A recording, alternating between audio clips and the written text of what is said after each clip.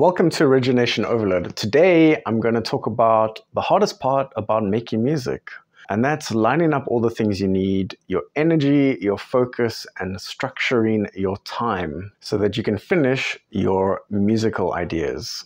So, today, we're going to look at a solid plan to get shit done, as well as what you need to consider as a distraction or a motivation to help you along the way. We'll be talking about energy, focus, dopamine, and other factors. So, I'm making this video because the last two months I've been trying to make videos, but it just hasn't worked out. I've been unhappy with the results and I've really been struggling to focus. I've been beating myself up about it and I'm just I'm just tired of feeling shit. So take off your Doc Martens, remove your dripping eyeliner, stop listening to Taylor Swift and let's check out these ideas.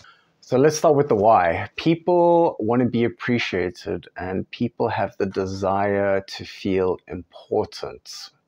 A lot of the times we associate our ego with these feelings, and a lot of that is based on our creativity and how it makes us feel.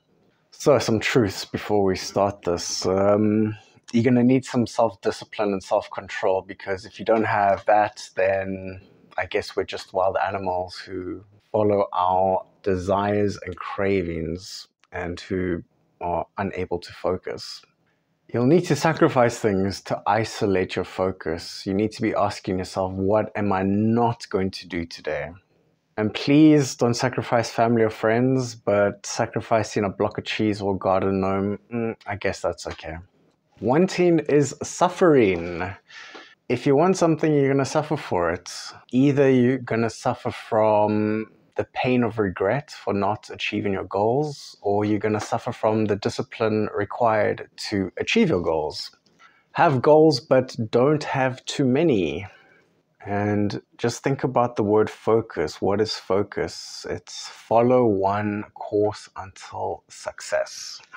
So this is an overview of the PDF that I'll be sharing with you. Uh, the link is in the description. Please download it and print it out. Uh, hopefully it will help you out. Let's talk about the things you need to get things done.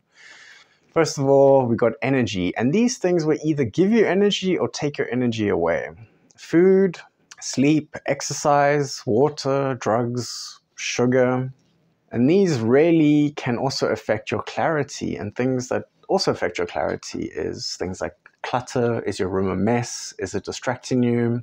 Are you on social media?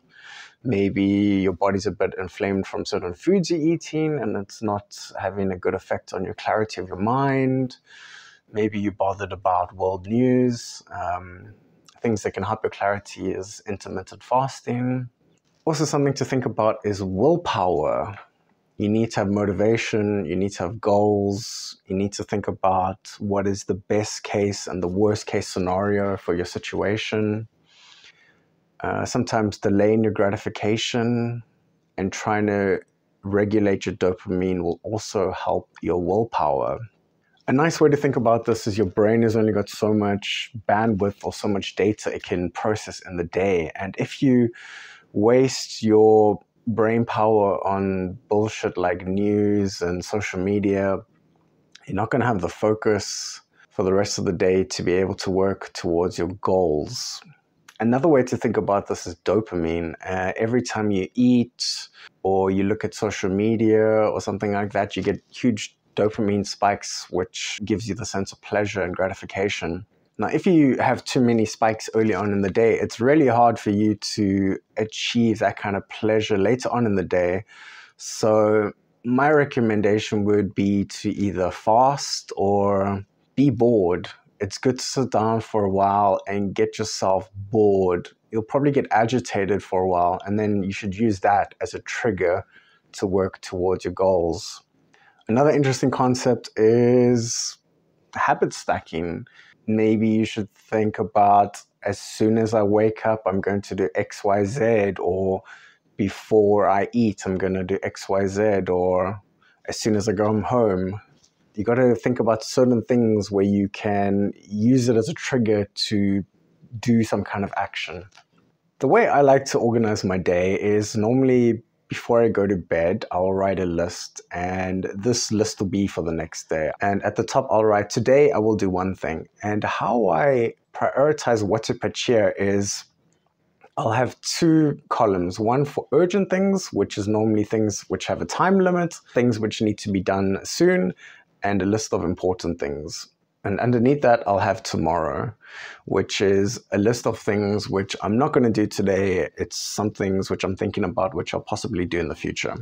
Let's talk about a nice way to stay on top of your musical goals. So we'll write the project name or the working title, a date when we're going to start it, and we need to give it context. We need to think about your destination. What is the mission? Why do we want to do this? What's it going to make us feel? Uh, what is the vehicle? What is the medium we're going to use? Is it purely musical? Are we going to do music videos to it? Um, maybe you should even be thinking about marketing or whatever. Maybe that's too complicated. Petrol how do we get into that flow state? Do we need coffee to do this? Do we need to fast? Maybe we just listen to some music that inspires us to sit down and create. What leads to the action, the keys? Uh, as I mentioned earlier, maybe it's a certain time and a place when I come home after work or before I go to bed, and so on.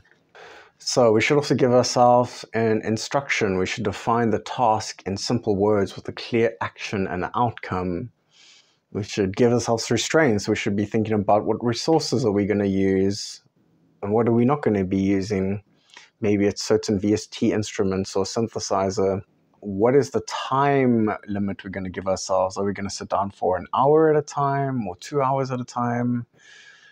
what's the quality of the work going to be? Are we trying to improve on what we've done before? Do we want to be better than ourselves? Uh, maybe better than another artist? Or maybe it's okay just to have mediocre quality work. We just want to finish something.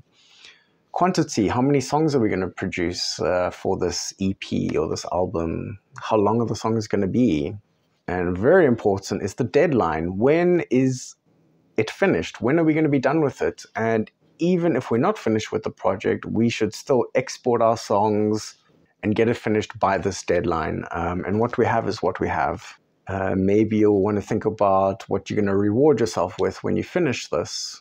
And also, what you could be thinking about is what is your desired outcome from the project? Do you want to get certain amount of downloads or certain amounts of likes? Do you just want to be happy with what you've done? And also, make sure you write down what actually was the outcome of all this effort that you put into it. Also, in this PDF is just some things just to remind you of some of the things I spoke about, and as well as a monthly plan. Here, you could write uh, the month that you're working in and also the dates. Maybe your goal is uh, every Tuesday and Wednesday morning, I want to sit down for one hour and write music. And what you do is you write down the goal, and when you accomplish it, you just tick it off. And it's nice to see your progress over the month. It's quite motivating to see how that time adds up to the things you've made. So, yeah, I hope uh, that gave you some ideas and some inspiration to move forward and to work towards your goals. Um, I'd love to hear your comments about your struggles or your victories in being creative. Uh, write me a comment below. I'll check it out and give you a reply. Thanks for watching, and I'll check you later.